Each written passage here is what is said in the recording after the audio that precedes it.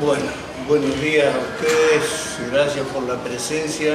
Eh, en el día de hoy los citamos para eh, informar a la población sobre el tema recambio red, que es algo que está medio, eh, no está bien aclarado, entonces bueno, de nuestra parte aclarar a la población en qué consiste todo el recambio red. Primero el doctor acá nos va a dar una reseña de la cooperativa y luego, bueno, nos vamos a extender en el tema de recambio red. Bueno, buenos días para todos. Eh, yo les voy a explicar desde eh, el cargo que tengo en el Consejo de Administración de la Cooperativa. Un poco voy a hacer un resumen de lo que aconteció hasta por todos estos años que han pasado, eh, para que eh, se entienda cómo es la cuestión de la obra de recambio de red. Eh, así entonces les vamos a manifestar que nuestra cooperativa originariamente comenzó con todas las tratativas para la instalación del servicio potable de agua rural, el famoso SPAR, allá por la década del 60 cuando la provincia de Santa Fe toma la decisión de eh, eh, analizar la cuestión del agua en el interior. Es por eso entonces que la provincia divide en dos. Por un lado queda eh, la parte oficial, que es en este momento manejado por ASA, Agua Santafesina, y por el otro lado el Servicio Provincial de Agua Rural, que pasó luego a manos del ENRES. Nosotros, eh, dentro de la provincia, estamos dentro del sistema de cooperativas. Por lo tanto, tenemos una empresa privada brindando un servicio de naturaleza pública que es el servicio de agua potable. En estas condiciones, cuando allá por la década del 60 se inicia la obra, el primer término fracasa, porque la primera empresa quebró Luego reasume otra empresa y en el año 1973 se inicia el, servicio de agua. En aquel momento se tomó un crédito del Banco Interamericano de Desarrollo a 20 años, que luego fue, prorrogado por las circunstancias del país por otros 10 años más, por lo que la obra de red se terminó de pagar más o menos allá a fines de la década del 90, en años 98, 99. En aquel momento la situación del país era otra, la situación de la economía era otra, y aparte la provincia fue la que garantizó el crédito que se tomaba. Por lo tanto nosotros como cooperativa le cobrábamos al usuario y ese dinero se mandaba al famoso préstamo BIC que decía la boleta. Bien, también tengo que aclararles que la red eh, de impulsión pertenece a la comunidad, no es de la cooperativa. Por lo tanto, todo trabajo que se debe hacer en recambio y demás, se necesita la autorización del poder concedente que es el municipio. En este caso, como tenemos municipalidad, necesitamos primero la autorización del consejo más la aprobación de la intendencia. Esta obra que se hizo ya por la década del 70 fue por supuesto en otras circunstancias del pueblo también San Carlos era un pueblo, no llegaba a 5.000 habitantes, era distinto. ¿eh? Teníamos unas 3.000 conexiones. Hoy estamos en 6.000 conexiones con casi 15.000 habitantes. El material utilizado es de otra época, de otra generación y se agotó. Ya hace más de 20 años que está agotado, por distintas razones que no viene bien a mencionar porque no cabe ahora que cada cual interprete qué es lo que pasó, la decisión política de la obra de recambio nunca se hizo. Nosotros como cooperativa venimos insistiendo, insistiendo hace muchos años y en particular aceleramos el proceso eh, hace unos 6, 7 años a esta parte. Por dos razones.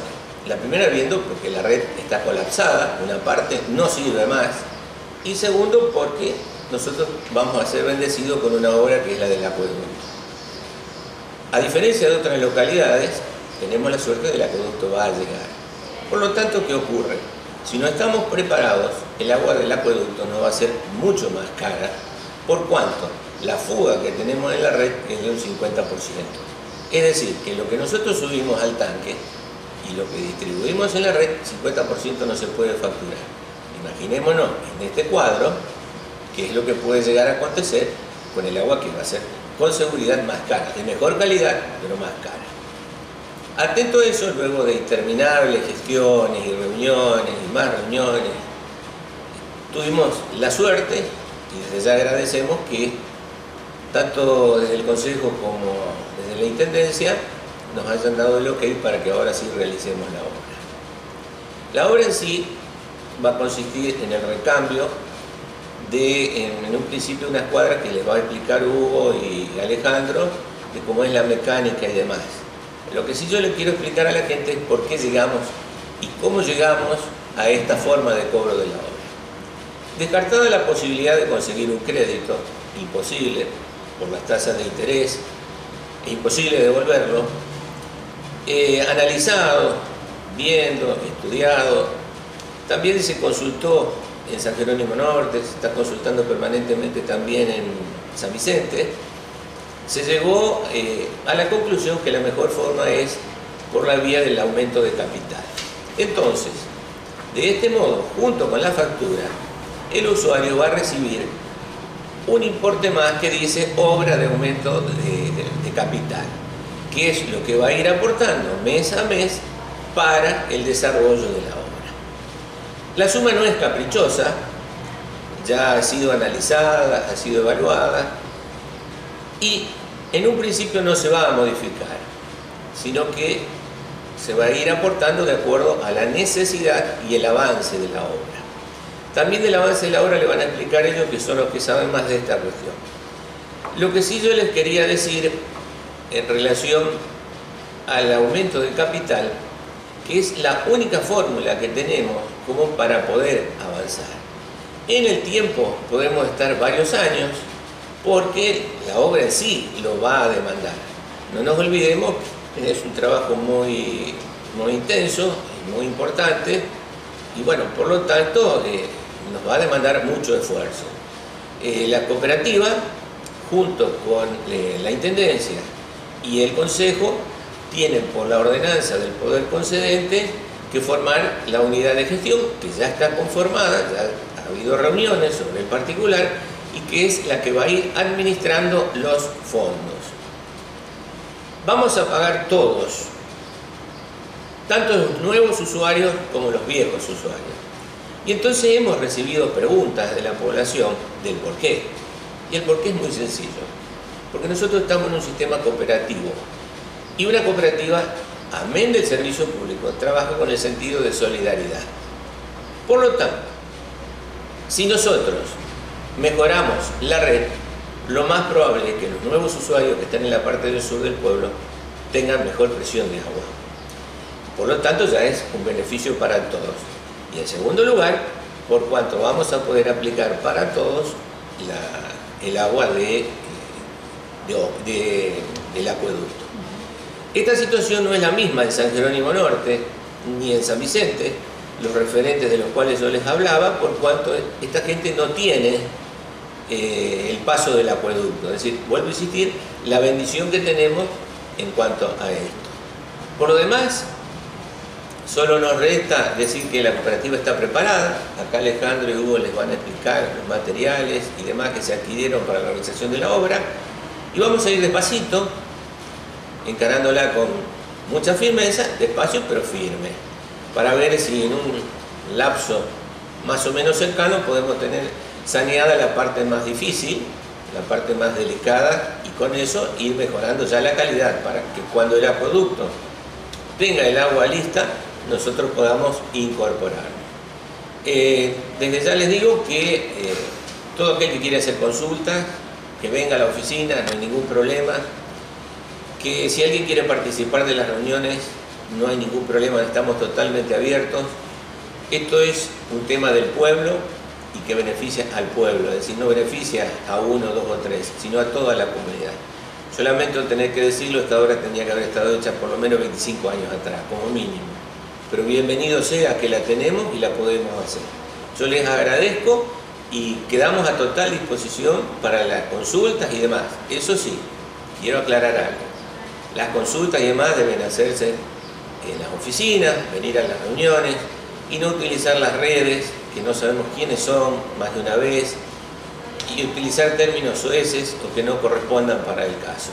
Acá nosotros nos conocemos todos, sabemos quiénes somos, los vamos a atender, no hay ningún problema. Y es más, estamos dispuestos a escuchar porque por ahí puede haber alguien que conozca, que sepa y también nos asesore, cuestión que es importante. Yo les agradezco y quedamos a disposición. Hugo, la obra ya tiene, digamos, este, como decíamos, un aporte que hizo el municipio y ahora, bueno, obviamente esta cuota de, capital que vamos a aportar todos los sancarlinos, ¿no? Exactamente. Eh, tenemos fijado una fecha de, iniciación que vendría a ser en febrero del 2022. Eh, como dijo Carlos, eh, la Rey ya tiene casi 50 años, 48 años. Por eso tenemos el inconveniente de que ya está desgastada, da grandes pérdidas y últimamente tenemos tanta suerte que los fines de semana tenemos que disminuir el caudal porque siempre se rompe algún caño. Es lamentable, la población tiene que entenderlo porque nosotros no elegimos el día que se tiene que romper. Son circunstancias que pasan y uno ve, como dice Carlos, en las redes sociales todos los epítetos que manda la población, como si uno fuera el culpable de todo eso.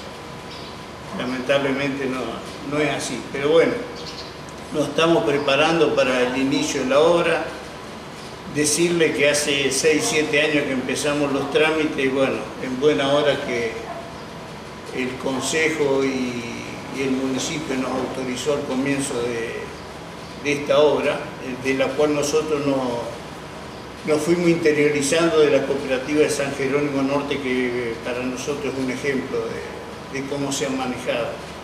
De ahí tenemos que eh, digamos, eh, la, la, mayor obra se va a encauzar con dinero de aporte de capital y también decirle que bueno, San Jerónimo ya tiene el 90% del recambio de red total.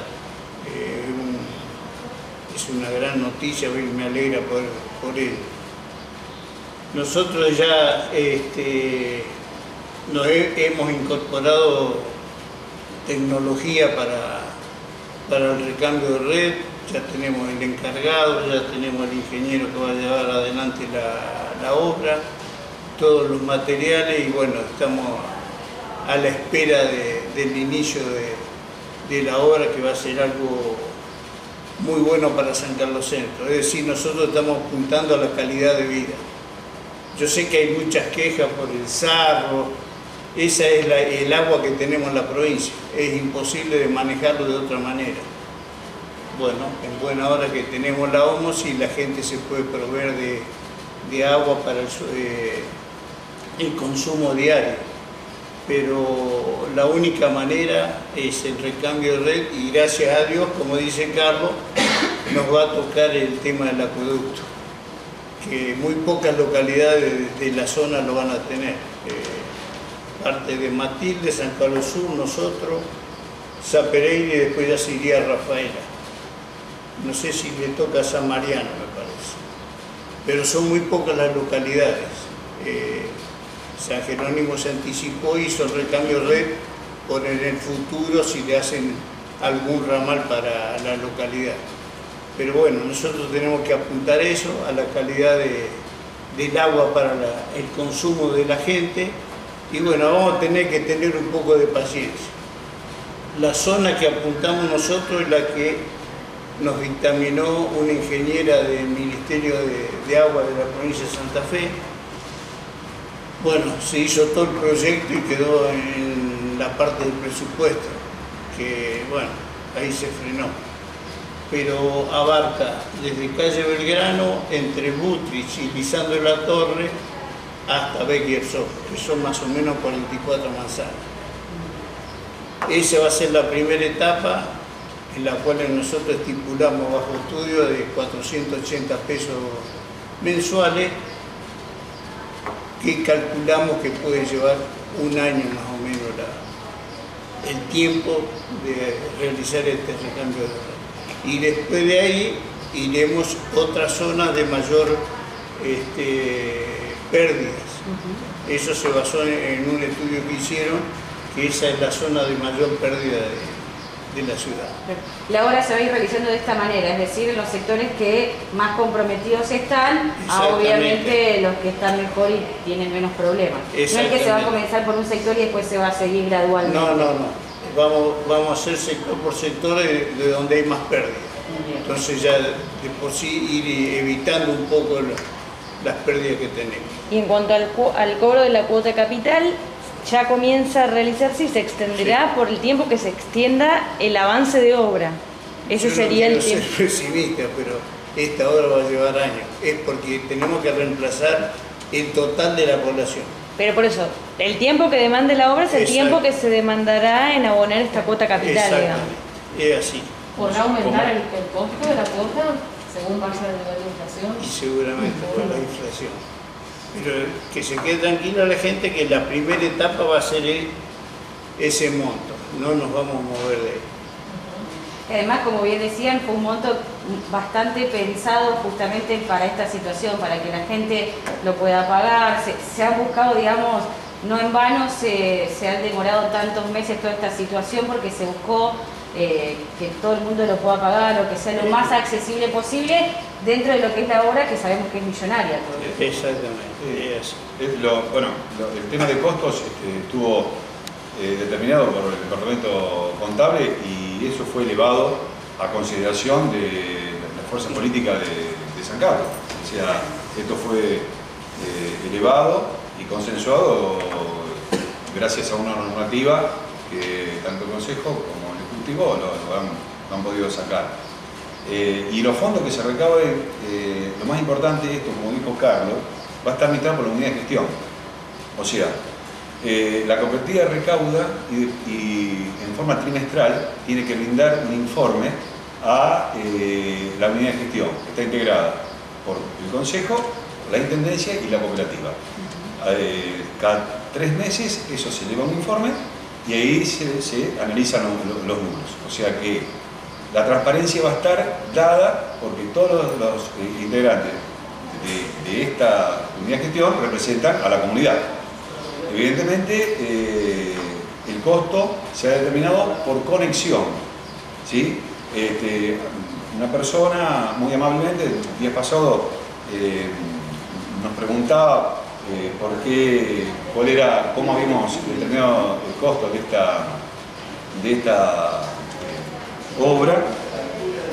Yo en ese momento le dije, le dije, que no estaba capacitado, porque eso lo maneja el departamento contable, pero que eh, lo invitaba, como dijo Hugo y Carlos, a que venga a la, cooperativa y de esa forma se puede informar todo lo que él necesita, porque de esa forma uno lo puede decir no a través del teléfono porque se está ocupando una línea que se usa para reclamos diariamente. Entonces sería imposible poder evacuar dudas a través del teléfono, eh, porque estaríamos, este, eh, eh, de esta forma no dejando poder que otra gente que necesita de alguna reparación pueda estar haciendo su reclamo. Entonces la vía telefónica es un inconveniente. Eh, así, así que invitamos a cualquier duda que, vengan acá a la cooperativa y le vamos a Quiero comentar otro caso que paralelamente a la obra de recambio de red eh, estamos en contacto eh, con un ingeniero que asesora, que forma parte del Consejo de Administración de San Jerónimo y que lo asesora a esta cooperativa para que simultáneamente con la obra de recambio de red se estén colocando eh, en la parte sur de la ciudad eh, bombas este, presurizadas para eh, mejorar la presión en aquella zona. todos los integrantes de este consejo saben que los problemas que hay de, presión en, la zona sur, entonces, en forma simultánea, vamos a tratar de solucionar en parte esa- ese, ese problema, teniendo en cuenta eh, la antigüedad de la, de la- cañería que tiene, es que tenemos que ir con pasos muy firmes, pero con un conocimiento adecuado por parte de este señor que nos va a aconsejar para ver en qué zona se va a colocar, cuántas cuadras van a marcar, qué presión se le va a dar, porque no es cuestión de poner una, una bomba y darle presión y de esa forma poder eh, generar más inconvenientes de lo que uno pretende solucionar. Entonces, bueno, son todas cosas que la cooperativa está haciendo eh, en pos de mejorar el servicio. ¿Es el que queremos? No, es el posible en este momento. Por eso estamos haciendo todas estas cosas para poder darle mejor calidad de vida a la población. Claro. Eh, y lo último, decir que la cooperativa ya tiene todo el elemento necesario para empezar la obra y en esta semana eh, se ha incorporado el último elemento que nos, que nos faltaba, que es un vibropizón eh, con motor Honda. Bueno, es uno de los elementos más que necesitamos para poder hacer la obra y bueno, gracias a Dios se pudo, se pudo adquirir. Con fondos propios de la cooperativa. Siempre con todos con fondos propios de la, cooperativa- de la cooperativa. Claro. Así es. Eh, tenemos que entender ahora se viene la época de mayor consumo porque ingresamos en el verano, los días de más calor.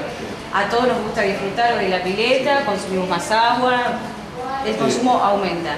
Eh, tal vez es la posibilidad que vamos a tener todos los sancarlinos de entender que la obra no es un capricho, sino que es una absoluta necesidad, porque todos los problemas que ustedes van mencionando que hay cuando no hay presión o cuando se tiene que hacer un corte y demás, es producto de eh, la red que tenemos hoy.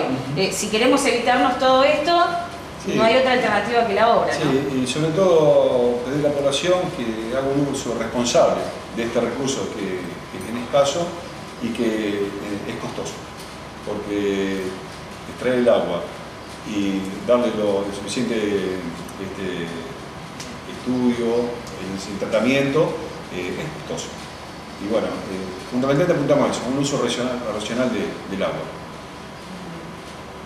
Otra de las cosas que quiero mencionar, discúlpeme, es